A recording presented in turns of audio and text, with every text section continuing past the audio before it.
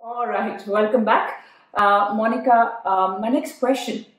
So, what's the success rate of the mammogram picking up breast cancer?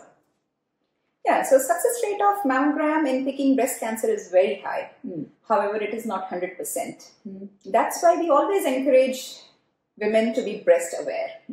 And sometimes the reporting radiologists do advise for another scan and the GP organizes that.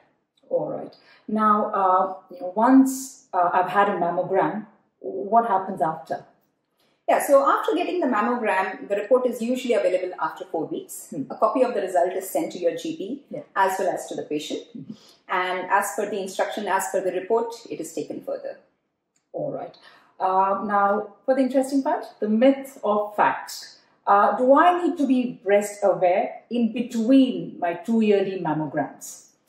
Certainly, you need to be breast aware in between two mammogram. You cannot be 100% sure that breast cancer cannot happen in this two year period. Hmm. In fact, if we talk about the figures, most of the cancers are picked up by the patient themselves. And Yes. that interval period is very, very important. So, Hmm. any breast symptom, just make it to the notice of your GP and get it investigated. That's absolutely right. Every time you notice a lump, get it seen and checked by your GP. All right. Thank you so much. No problems.